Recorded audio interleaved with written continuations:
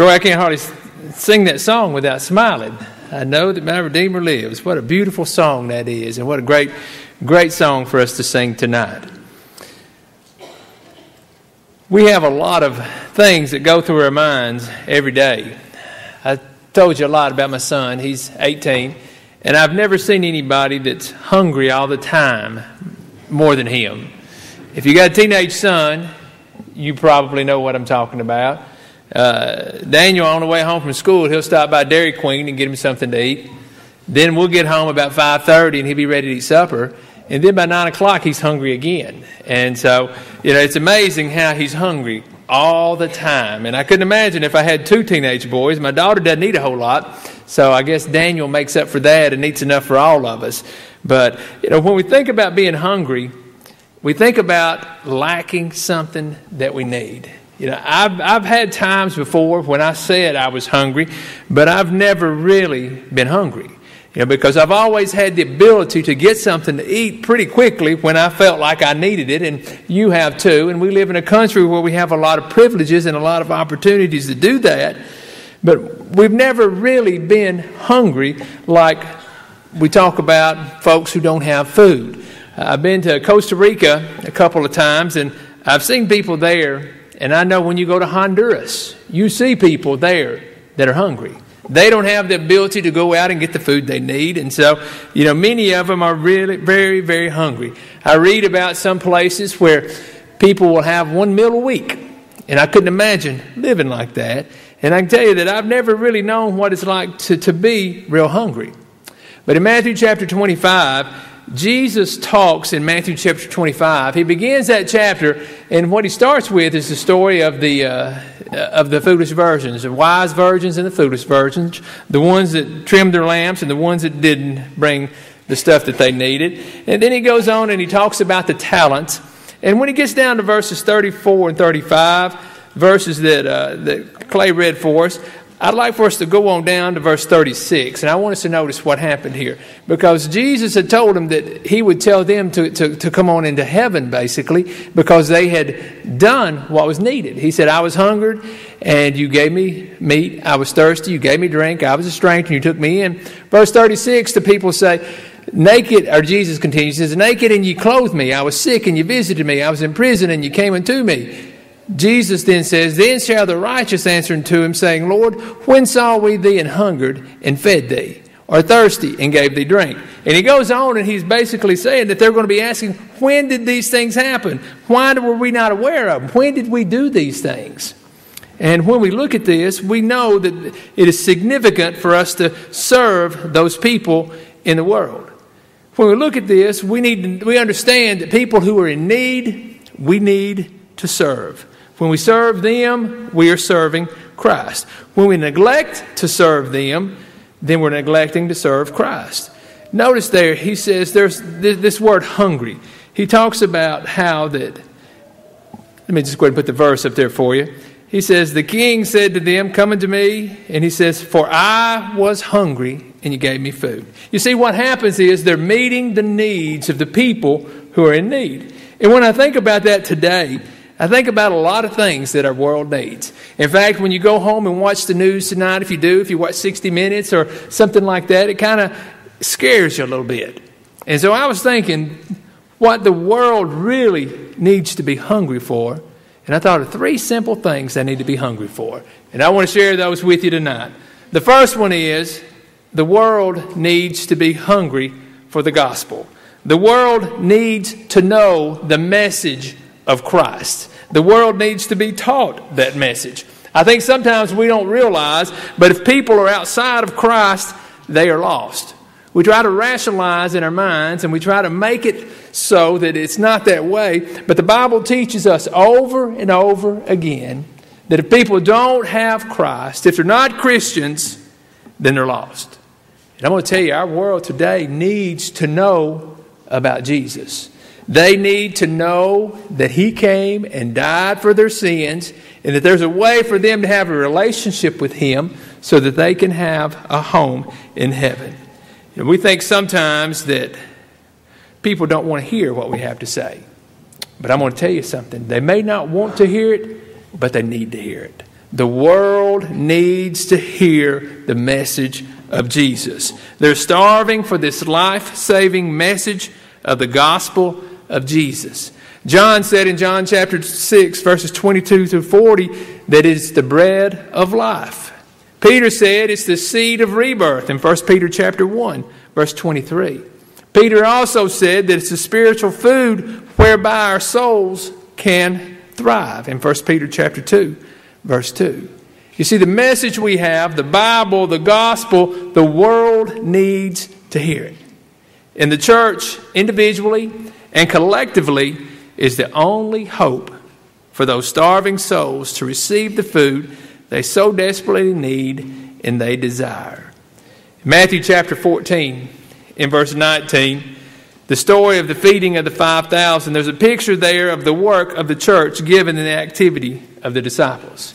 You see, Jesus was the source of the food. He gave it to the disciples who distributed it to the crowds. And Christ has given us the bread of life and the responsibility of seeing that it's distributed to the hungry. The message we have, we have an obligation. We have a responsibility. And it's up to us to share the message that we have. People in the world today are starving to receive the spiritual food that they need.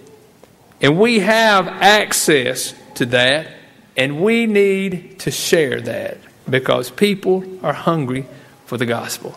Can you imagine what a difference if people were taught the gospel and they obeyed the gospel it'd make in our world today? Could you imagine what a difference it would make in our country?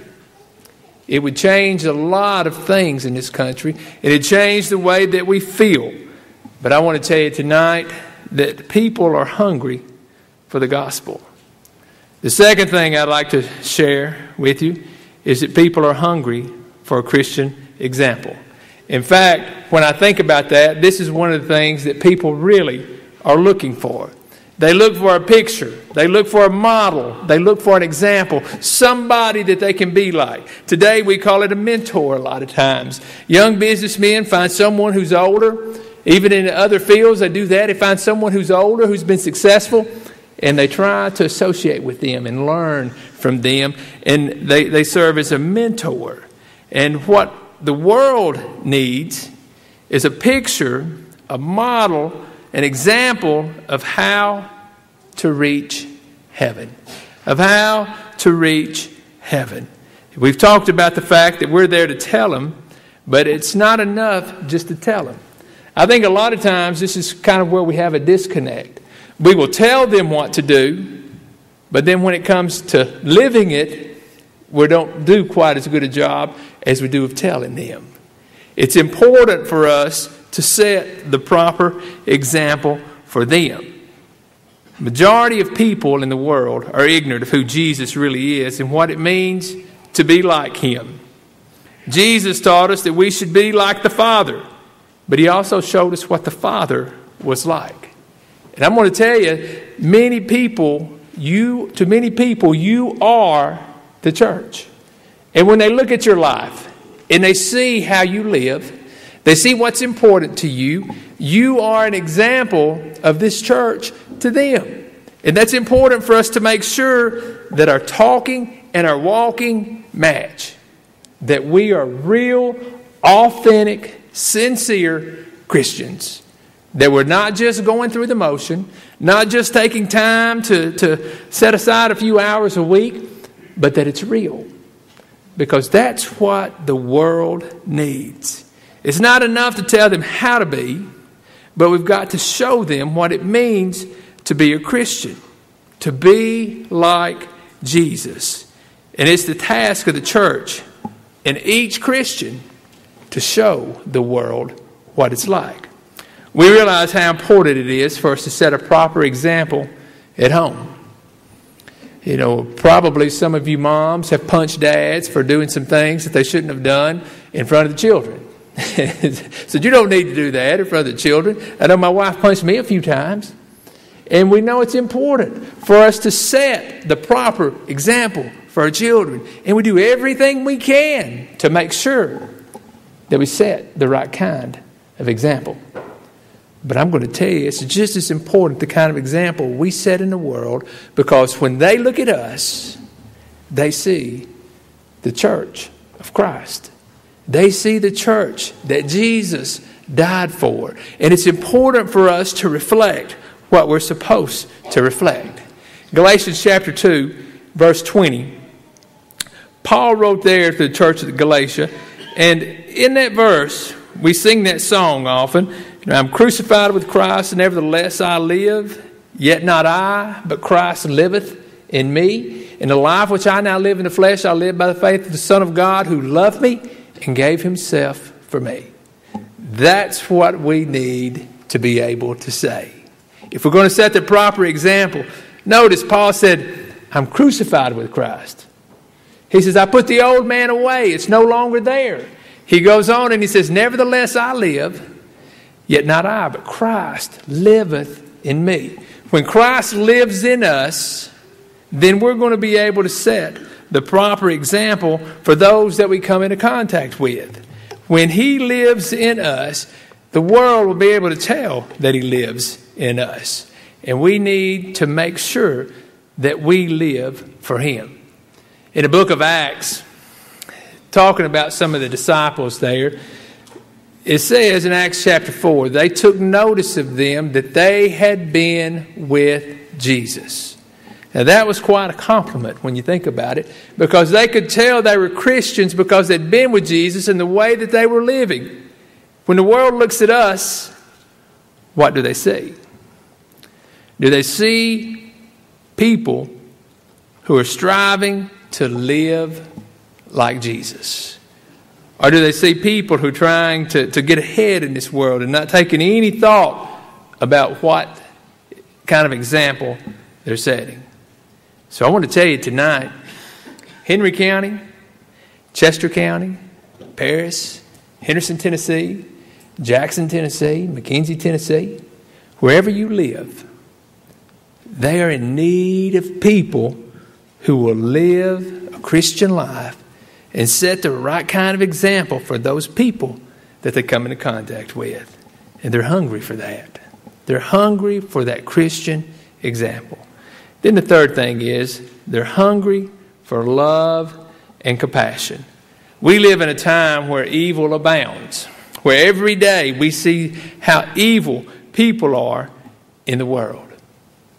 And we are glad to throw stones at those people we see that are evil. There was a, man, a missionary that had been in a small town in South Georgia, and he met a man there named Sam Tate. And he says, In the town, Mr. Tate was known for being a town drunk. One morning, the gentleman saw Mr. Tate, and Mr. Tate told him, he says, Hey, the boys threw rocks at me last night. The preacher looked at him and says, Well, maybe they were trying to make a better man out of you, trying to help him to understand that maybe he needed to live better. Then the old drunk looked at him and he says, I never heard of Jesus throwing rocks at anybody to make them better. And this is a good appraisal of the approach that many Christians take towards sinners and outsiders. The only way, the only way that sinners and outsiders can be saved is to come inside and to be forgiven. Us throwing rocks at them, us throwing stones at them, is not going to help them to be saved. You know, how do we react when people are sinners and they come in. People are hungry, hungry for warmth, for concern, and for help. We must give them these things. We must show compassion. We must desire to help them. And we must love the sinner, even though we hate sin. How do we react when we see people who are sinning? We usually turn the cold shoulder maybe talk about them, condemn them, you know. But how did Jesus deal with sinners? John chapter 8, verses 1 through 11 is a passage that we've talked about before. And in the book of John, Jesus here was loving, he was understanding, he was compassionate, he was merciful, but he was not condoning of her sin. he was forgiving, and he helped her to overcome the problem. And that's the way that we should deal with a, with a problem that people have in sin in the world today. In Jude, verse 23, Jude writes, and he says, And others save with fear, pulling them out of the fire, hating even the garment spotted by the flesh. You know, Jude realized that we needed to reach out to those who were lost. We need to understand that people are hungry for love today. Jesus said in John chapter 13, verse 35, By this shall all men know you're my disciples. If you throw a lot of rocks, if you bicker and fight and fuss, if you criticize each other, no. By this shall all men know you're my disciples if you have love one for another. I think one of the things that we need to focus on in our service to others, and you do a good job of this, is to reach out to those who are lost and to care for them and to meet their needs. One of the things that I love about looking at the life of Jesus in the New Testament is when he came upon sinners, he usually met their needs and then he taught them. He usually took care of the needs they had, and then he taught them the truth. I think a lot of times we want to teach them first and then try to take care of their needs after that. But it's hard for a person who's hungry to listen when they're hungry. We need to make sure that we treat others the way that Jesus did. When I think about our world today, I think about a world that's got a lot of problems a lot of things going on that, that really scare us. But I'm going to tell you, I think about a world that's hungry for the gospel. They need to know Jesus. The world needs Jesus. I think about a world that's hungry for a Christian example. And there's not anyone in here tonight that could not set that Christian example. All of us could do that. Wherever we live, wherever we work, whatever we do, even our teenagers can do this by setting a proper example to your friends at school and letting them know how important God is to you. And then the world is hungry for love. I look at this and I think these are things that we can do. These are things that all of us can do to get the message out to the world. We can share the gospel, we can live the right kind of life, and we can love the people that we come into contact with. There's so much hatred in the world. When we love, it stands out. See, the thing it takes is for us to decide to put Christ first in our lives. There's a lot of things that we have going on in our lives. And we're probably as busy or busier than we've ever been. When I was a teenager, I don't remember my parents staying busy with me all the time like we have with our kids. And maybe we're, my generation is a, is a lot more involved. Maybe we got more time. I don't know what it is, but whether it's travel basketball or travel baseball or whether it's uh, church camp or a youth group trip or whatever, we always find time to do that. And we stay so busy. But I'm going to tell you, we need to find time to show the love of Christ in our lives.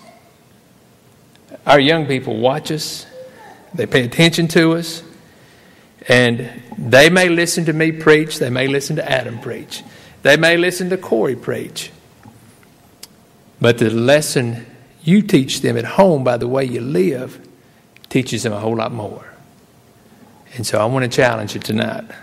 Whether you're a parent, a grandparent, youth minister, aunt, uncle, brother, sister, whatever, put Christ first. The world is hungry to know about Christ, and if we don't share that message, nobody will. I want to ask you to look at your life tonight and see if you're doing that. See if you're sharing that message. See if you're setting the right kind of example. See if you're showing the right kind of love. And if you're not, it might be that you need to come and ask the church to pray for you. Could be you just need to ask God to forgive you. It could be tonight that you're here and you're not a Christian you're ready to put Christ on in baptism to begin your life to do these things. I want to encourage you tonight. Don't leave the building with your life not right with God. If it's a private prayer you need to say, do it. But if you need to come, respond before the church, won't you do that as we stand and as we sing?